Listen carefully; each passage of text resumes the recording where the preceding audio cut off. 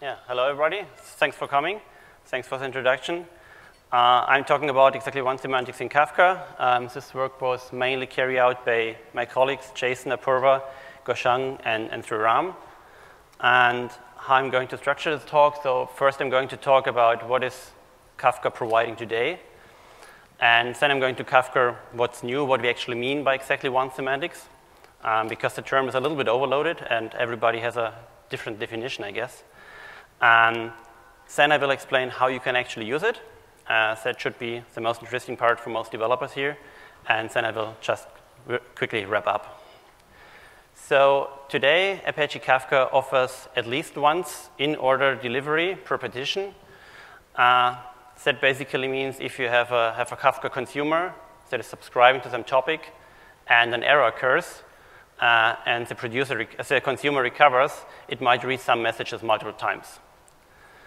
On the other hand, if you, if you write to a, uh, to a topic um, and there is something that goes wrong, then a producer might retry, and this could result in duplicate writes.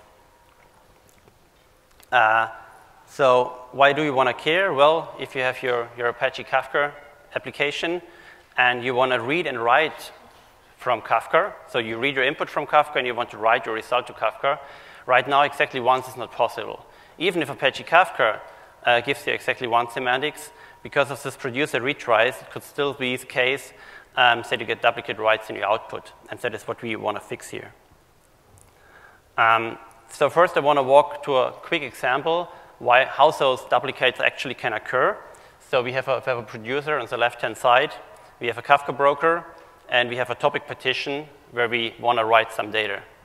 So first, the producer sends a record to the broker. That's a, basically a key-value pair uh, and the broker appends it to the log. Uh, and in order to, to acknowledge this log, the broker sends an acknowledgement back to the producer and tells the producer, I have written this record. And exactly this acknowledgement could, uh, could go wrong. For example, the network is lossy, or the broker goes down before it even sends the acknowledgement, or there are different other kinds of scenarios. In this case, the producer never receives the acknowledgement, and the producer assumes, well, this record was never written. So what the producer does, well, it sends the same record again. The problem is that the broker doesn't know that it's a retry. To the broker, it looks like a new write. So the broker, broker happily appends this record a second time uh, and then sends successfully the acknowledgement back. And now we end up with this duplicate that we never want to have. Um, so why do we need to improve this? Well, uh, stream processing is becoming a bigger part uh, in the data processing landscape. Um, mission, critical, uh, mission critical applications uh, are built in many companies across all kinds of industries, and so this demand for exactly once uh, is, is growing. And because Apache Kafka is the de facto standard for, for data stream processing, uh, it's super important for, for Kafka to have these stronger guarantees. Uh, it's also super important to expand the universe of streaming applications for example, if you think about finance applications, those duplicate writes or reads are really not acceptable. Uh, so with this new semantics, Kafka also uh, broadens the range what you can actually do with the system. So what's new? Um, well, this new exactly once semantics are basically uh, a three-tier thing, if you wish. So on the first hand, uh, Apache Kafka adds an idempotent producer, that's basically uh, used to guarantee exactly once writes. So the problem I just described before is avoided. Then there is a completely new feature that's called a transactional producer. Uh, and that basically means you have atomic writes across multiple partitions. What that means, I will show in a, in a quick uh, example later on. Uh, and then for stream processing, you have this read, process, write pattern that also Spark would use on top of Kafka. And for this, you really get this exactly once semantics now, that you process each record exactly once and don't get any duplicates in, in your output. So first, I want to go with the, the idempotent producer. How does it actually work? Um, again, we have the example from before. We have a producer, we have a broker, and we have the topic partition we want to write to. And now if we have the idempotent producer, if the producer writes something, well, it sends the key value pair as before, but it also sends some more metadata. In this case, we have a so-called sequence number, so it is zero, and we have a producer ID, uh, 73 in this example. The, the sequence number more or less identifies the record itself, where in the topic partition it should go. Uh, and the PID identifies the producer, so that the broker can distinguish between different producers. If now the broker writes this data to the topic partition, it not only writes the data itself, but it also writes this metadata. Now, if this acknowledgement is lost and the producer retries, it sends the same stuff again with the same metadata attached. And now the broker can actually identify that that's a retry because the write comes from the same producer and it uses the same sequence number. So the broker sees, oh, I have appended this record already to the log, and so the broker just sends an acknowledgement back without doing anything uh, because it knows it's a duplicate. Now, the next feature, uh, multi atomic multi-partitioned writes. Um, we also call them transactions. It's not the same thing as a database transaction. We use just the same term. Uh, so so don't, don't confuse it with those. What it actually means is here, we also have a producer, and the producer wants to write uh, to multiple topics. In this example, I have two topics, topic A with one partition 0, and topic B with two partitions 0 and 1. Uh, I omit the broker here for simplicity. And what the producer can now do, the producer can, can write multiple messages to all those different topics. And those messages are marked as transactional. And that basically means that a consumer is not allowed to read those messages in a simplified form to express it. And then the producer has the ability to commit all those reads in an atomic manner. Um, that's also a simplified view. I cannot go into the details, uh, but I'm happy to answer any follow-up questions on that. That basically means if the, this transaction gets committed, now all the six record can be consumed downstream. So if you have a consumer that is reading, the consumer now reads all six messages, or it would not read any messages in case the transaction gets aborted, what would also be possible. And as long as those, those, those, those transactions in flight, so it's neither committed nor aborted, the, the consumer will just stop consuming at this point, uh, and block and wait until the transaction is, is, is, is, uh, is resolved. Um, so for this transactional consumer producer, uh, there is a new API. Uh, I just want to want to sketch it out to give a feeling for this. So if you have a transactional producer, you would first initialize a transaction, call it init transaction.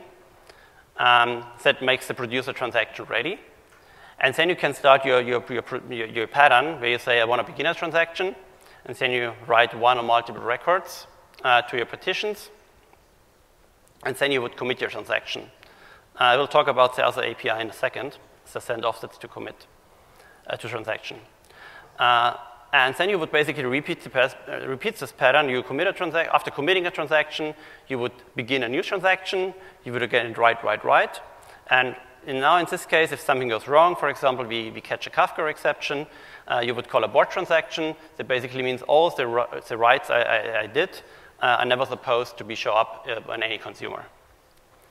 Uh, and then finally, there is a new exception type that could produce a fenced exception. Uh, that's a non-recoverable exception. In this case, you only can close the producer and need to create a new one. Uh, the producer is, is basically in a bad state. It's just like a as a, as a high-level overview.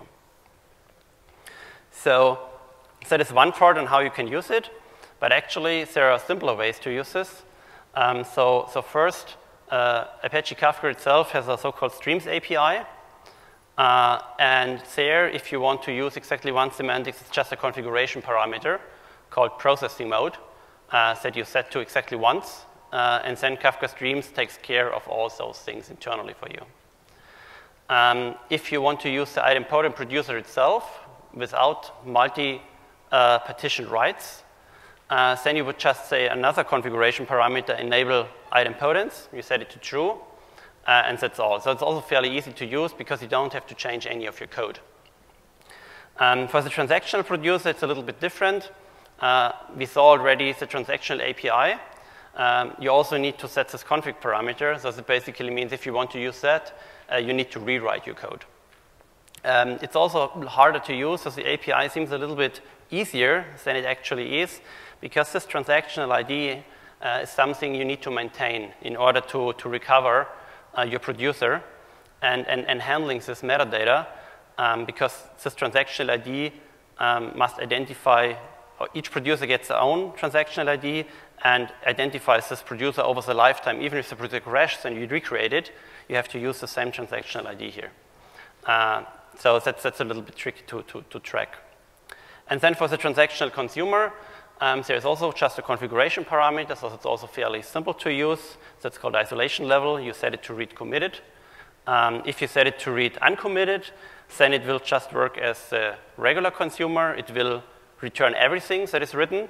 Uh, it will ignore, if it's in a transactional context, it will ignore if something is aborted or committed. It just returns everything that sees. Um, then uh, what I omitted is this kind of send offset to transaction uh, API. And that's important for the last piece, the stream processing, where you have uh, Kafka as an input and Kafka as an output, and you want to do processing in between. Um, in Kafka, the, the one problem is that you, for this pattern, that you have your consumer, and consumer keep track of their offset, what they have read. And those offsets are committed to Kafka in a, in a regular interval. And in order to make exactly once read process write pattern, um, you cannot decouple this. So basically, if you have the consumer and the producer in the same applications, they don't know from each other. So for this reason, we have this new API, send offsets to transaction, that basically means the producer is used to commit the offsets of the consumer in the same application within the same transaction. That basically means if you commit your transactions, you commit your offsets, and you commit your writes in an atomic manner. And if you abort, then you basically fall back to the latest committed offsets, and you also undo all your writes. And that allows uh, to do exactly once stream processing. And of course, it's something Spark can also offer. If it implements this API, um, since Spark is now also able to have exactly once on top of Apache Kafka, um, that was not possible uh, before. So when will this be available? So it's, it's uh, available in the upcoming release, O11. Uh, the re release target date is mid-June, so maybe next week or in two weeks. So I can just encourage you to, to try it out and give feedback. Uh, and with that, I would like to, to sum up. So um, I've talked about the existing delivery semantics of Apache Kafka. Uh, and we, we, we have talked about why they are not ideal and what we can improve. Uh, I've also explained what we actually mean by exactly once in this context. Uh, and I also explained that it's easiest way to use high-level APIs, especially for those transactions, uh, like the, the, Streams API or Apache Kafka, because uh, handling the API is a, is a, little bit, a little bit tricky. Um, so thank you uh, for your attention. And uh, if you want to, want to learn more about this, um, please visit at, our booth downstairs. Uh, I can also take a couple of questions if you have time. Uh, and also, we have upcoming Kafka Summit in August. Um, there's a discount code. You can also pick up the discount code at the booth. Uh, and thank you for your attention.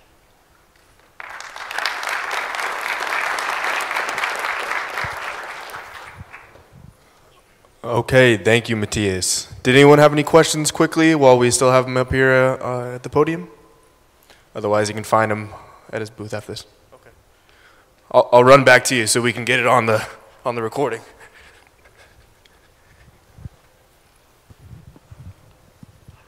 Hi, uh, thank you for the talk. So it's interesting for the advanced producer. So it looks like the broker need to maintain an in-memory buffer for the latest metadata. So that will consume memory, and uh, it depends on uh, the size of the data it can buffer. Could you provide a little more details about that? Yeah, um, you, you mean the, the, sequence numbers that is written in with, with the message. Yeah, so for, for this change, Kafka changes the internal message format uh, in order to, to, because this metadata is basically attached to every record. Uh, uh, so, so, the point about it, the message format was really reworked completely. And that basically means because of the internal restructuring, uh, actually, if you, if you have small messages, a lot of small messages, then you actually gain something because altogether it's smaller.